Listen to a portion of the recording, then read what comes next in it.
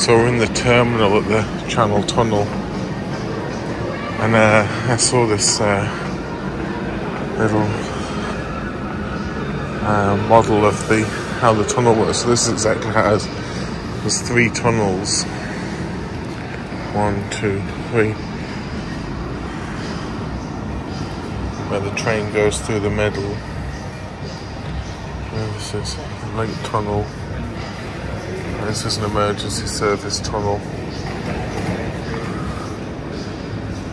This was the original model from 19 something I can't see. And you got the second tunnel from 1988. This is where they've drilled and how it was all evacuated.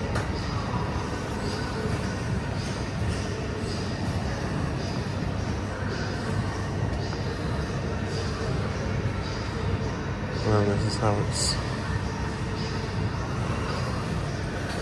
built.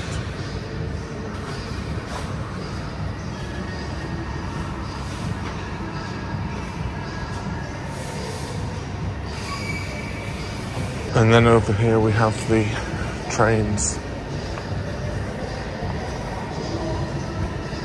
with 1988 cars.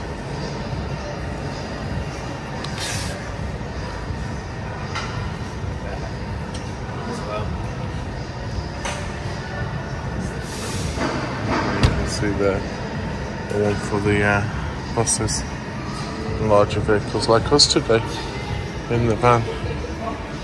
So the car's in the duty free. We'll find him and off we trot. We're chatting away.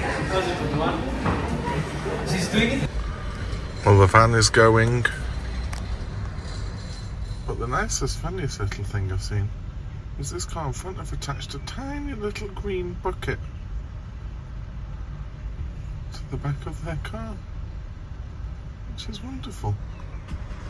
Don't know what it's for, but it's wonderful. Oh, that lane's going now. That's a shorter lane, we're a taller lane. Oh. No, it's not. Maybe on that beautiful Aston Martin there. Fucking hero. He was in the VIP zone.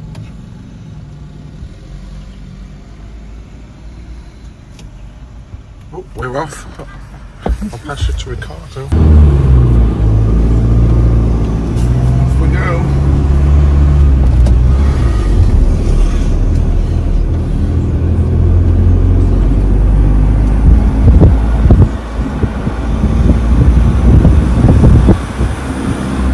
Bye, England. Bon voyage! Actually, we're, uh, we're actually in France now because we've already passed the immigration. Yeah, we're stamped in.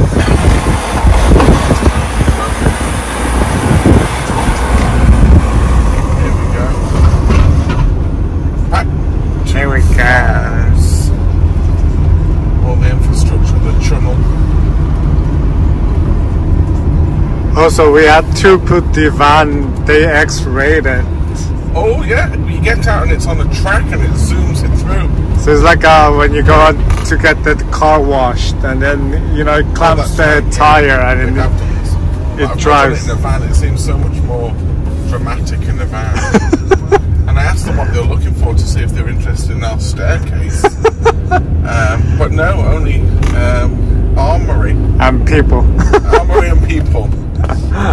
But they did say that the same system has come from Mexico, from the Mexican border, and the same system they leave the driver and everyone in as they zoom them through. I had to get out and do a little thing. yeah. So here we are. So I've got a hotel at the other side. As we get back, it's going to be an hour later, so it'll be ooh, just shy of 10 o'clock. there. we won't need much rocking tonight, and then see what tomorrow brings. Mm.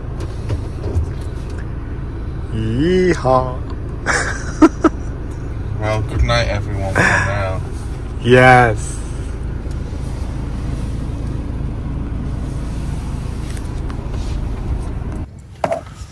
Oh, it's 10 past 10. I'm demounting from the van, ooh, which is a struggle. because the uh, handbrake goes up me every time.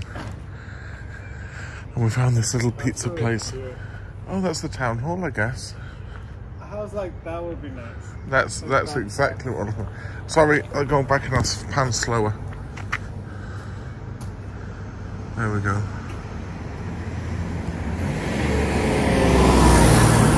Some British people looking for pizza.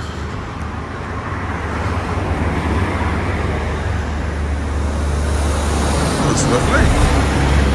All sorts of things. Well, it says it's closed, but it's open. Let's not complain. Wonderful. The food's arriving, it looks so good. Oh, let's see. Just because you're English. I guess. Oh, merci. Bon appétit. Oh, merci. c'est- Wow. Yummy, yummy. made. Fresh, and it smells so good. Yeah. And lots of veggies and different things. Had a night's sleep, we're still in Calais. And we found this little brasserie which put a nice picture of an English breakfast. A normal English breakfast. And they bring me one with a salad. I'm not sure about that. But lovely eggs and bacon and nice tomatoes and a bit of bread. They had toast in the other one as well. But hey. Well, I won't be having the salad bit. So I've just been to the tourism office there, just next to the mairie um, and the school. I have a map of where you can go do a little walk.